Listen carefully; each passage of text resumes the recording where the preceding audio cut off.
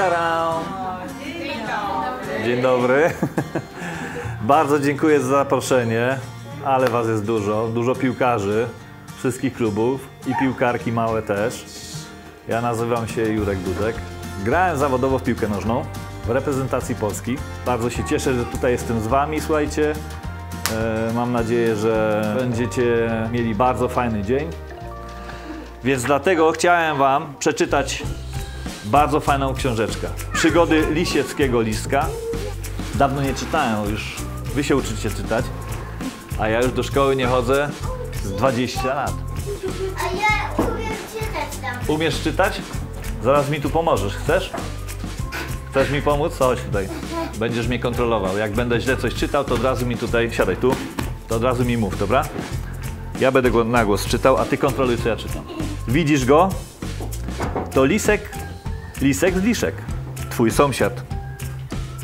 Masz sąsiada z liska? Czasami się zbliża, nie? Do ogrodzenia. Zdrowo się odżywia, bo dba o swoje futerko, które lśni niczym bursztyn. Gdzie pan już jest? Tutaj.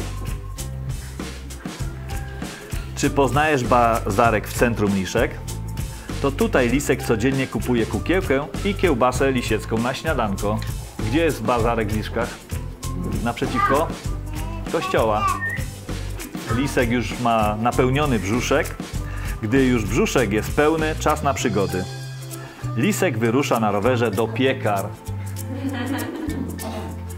Z dróżki pod skałkami dostrzega stary klasztor w Tyńcu. Widać klasztor w Tyńcu? Piekar? Widać.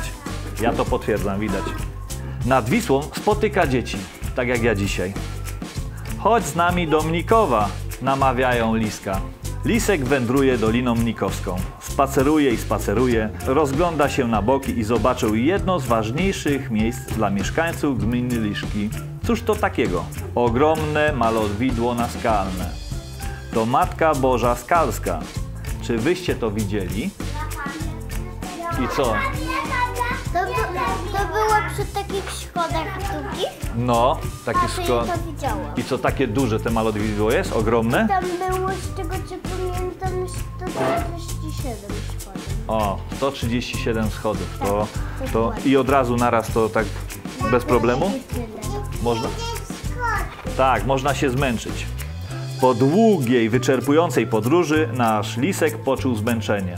Wiadomo, jak się podróżuje, chodzi, to się czuje zmęczenie. Zastanawia się, jak zakończyć ten dzień pełen atrakcji. I wtedy wpadł na pomysł, aby odwiedzić ulubione miejsce wypoczynku całej gminy. Gdzie jest ulubione miejsce odpoczynku całej naszej gminy?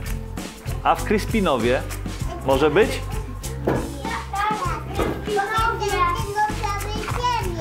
Więc Lisek po tej, po tej fantastycznej przygodzie po naszej gminie Liszki, poprzez piekary, Dolinę Mnikowską, postanowił poszukać odpoczynku. I najlepszym miejscem na odpoczynek jest Kryspinów, plaża w Kryspinowie. Teraz czas na Twoją przygodę w gminie Liszki. Zapraszam serdecznie, Jerzy Dudek.